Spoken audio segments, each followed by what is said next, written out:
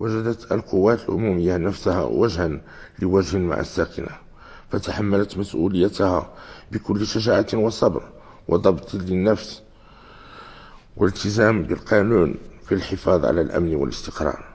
وهنا أقصد الحسيمة ذلك عكس ما يدعيه البعض من لجوء إلى ما يسمونه بالمقاربة الأمنية وكأن المغرب فوق بركان وأن كل بيت وكل مواطن له شرطي يراقبه.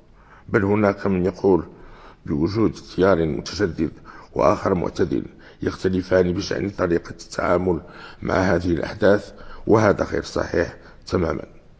والحقيقة أن هناك توجها واحد والتزاما ثابت وتطبيق القانون واحترام المؤسسات وضمان أمن المواطنين وصيانة ممتلكاتهم. في حين أن رجال الأمن يقدمون بتضحيات كبيرة ويعملون ليل نهار في ظروف صعبة من أجل القيام بواجبهم في حماية أمن الوطن واستقراره داخليا وخارجيا والسهر على راحة وطمأنينة المواطنين وسلامتهم.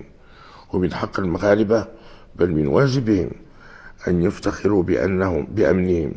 وهنا أقولها بدون تردد أو مركب نقص إذا كان بعض الآدميين لا يريدون الاعتراف بذلك أو يرفضون قول الحقيقة فهذا مشكل يخصهم وحدهم.